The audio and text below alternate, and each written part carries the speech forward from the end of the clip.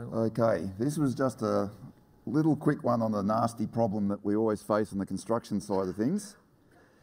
Subgrade, very brief overview. And another point that this option is not 100%. Some bits of this are minorly doctored, but only minorly. Okay, when you're in the construction game, there's one thing that's really unimportant, unimportant and that's the design surface. It's because you mightn't get there for years, or in some cases, you mightn't even get to build it. You do all the hard work and someone else gets to come and do the paving.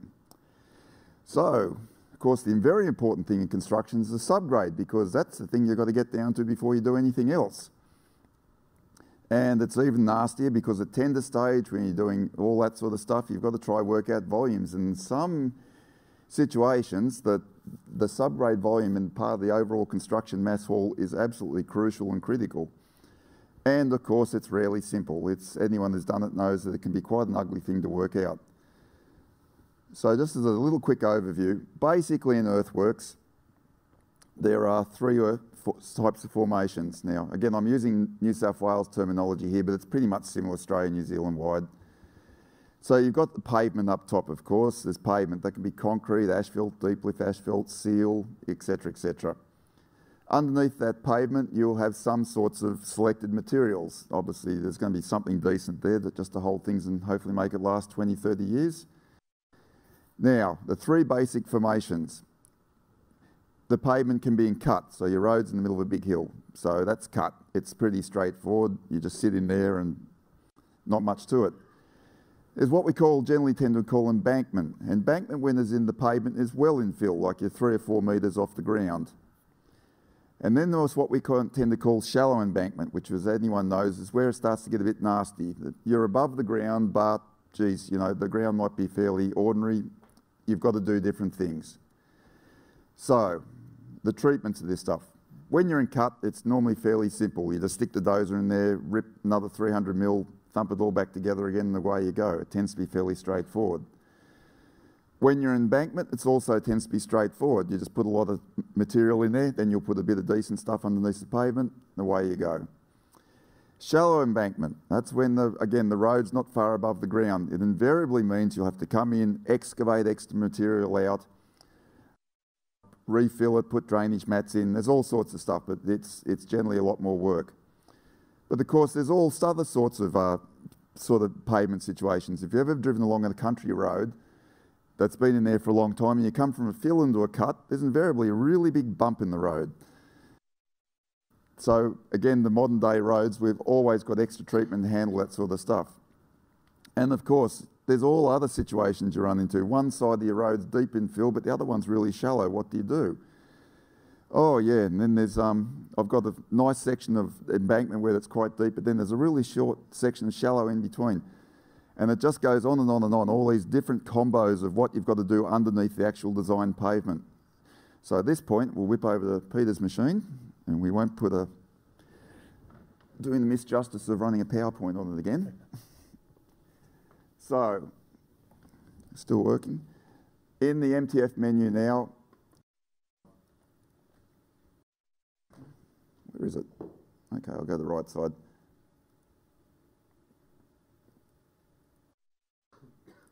Again, as Peter alluded to before, under that fixed boxing, you've got that analysed subgrade, which is pulled up here. Now, it's a beast of a panel. I won't go too much into the numbers on it, but basically this road here, which is uh, missing all my line marking, but I just made a simple road. It's actually just left-hand carriageway, right-hand carriageway. But basically what we do in the construction game is we just want to look at this left-hand carriageway and right-hand carriageway string, or typically a metre outside those where the subgrade would be. Now, we've got a set of rules. In New South Wales, it's called R44. Brendan sent me through the ones for TMR here. It's all very similar. There are a bunch of rules about what happens depending on how far your pavement and subgrade are from natural surface. Now, I won't go into this panel too much, except the fact up the top we pick the two carriageway strings we want to do this analysis on. We then pick the tin, we pick a whole heap of parameters here about depths of pavement and subgrade depths and other bits and pieces. And down the bottom, I've simply got a couple of strings I'm going to write out to. I won't go any further with that, there's no real point. So what happens when we run that is it does a bit of magic. It's just a very short little demo here, but this is what happens, it creates underneath, and we'll go to perspective view later. But you'll see here the road is running along the top design surface comes into cut. So here it's in fill, here it's in cut. Now what actually happens underneath is, and this is what you've got to create on site, and this is what happens. In the middle of the fill here, there's a certain fill depth. In this case, it's a typical New South Wales concrete road where there'll be three, 662 millimetres down. However, when it approaches where it comes into cut, this has to be dropped down to extra depth. And what they do is we always excavate extra distance until we're comfortably into the cut. Now, this is the same rule in Queensland and the same in Victoria. This is a very typical treatment. It's to stop this movement that you get between the cut and fill zones. When we're into the cut, this automatically steps up again. When we're out here and approaching the fill again, you see it steps down, and you'll notice, of course, that this intersection point here is exact. Like most of the other things in V11, we do these exact intersections. We fully evaluate all the modifiers until we get this exact intersection point with a tin. And again, it goes away here, comes across the normal fill, steps down again. Now, without going into it any further, we'll just simply have a look at the perspective view. And we'll shut all that down. And we'll just simply do a drive along there to see what's going on.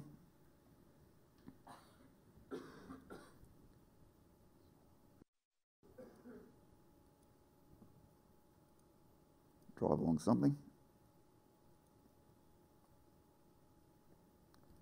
Of course, now I've got to go back there.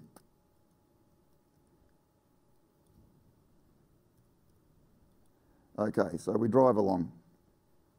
And again, this is a typical situation that when you're driving along the road, you don't know what's going on under there in the construction process. It's in fill here. You can see as we're coming up to the cut fill, it drops down into a rather big, and when you see this on site, it's a very big hole. And then when it's comfortably inside the cut, it steps up again. And then we've got a much, in the middle of the cut, the, the uh, depth is much shallower. And again, as we come out of the cut, whoop, there we go. You can see it steps down again, big step, and up in the fill. Now, this is a really nasty one to calculate. And what we see here in the plan view is what's been going on. And you'll notice that these lines are all skewed. This is one of the other one nasty ones. This cut fill zones, for example, are where the bottom of subgrade runs in the natural surface, but then it's got to create all these lines 10 metres parallel to. Anyway, for anyone who's ever dealt with this, you'll know what I'm talking about. So that's as far as I need to go with it. Again, it's, it's a tool, and on construction sites, this is a pain to calculate. So the idea here was I was trying to automate as much of this stuff.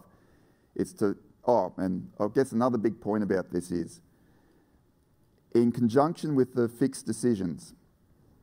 As you know with the old decisions, if you make a decision on where the individual cross section is, yes, the edge of pavement is in cut, it's in fill, but you might get noise so that the next section it might be back and fill, then it might be in cut, then finally you really get into it. But when you go through little floating zones, the fixed decisions aren't that effective. If we run a tool like this, where we've gone through, analysed the entire pavement, then I know this is distinctly fill, this is cut, this is a transition zone.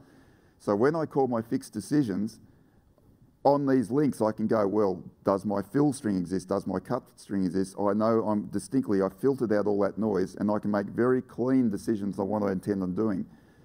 So if you're doing little jobs for typical rural roads in the country or something and you're able to run this analysis, you can generally apply the set of rules and everything. And with a single snippet, you could do your entire subgrade boxing for a typical rural road because you filtered out the noise. We've enabled this analysis to work out all these basic parameters of what's cut, what's transition, what's fill.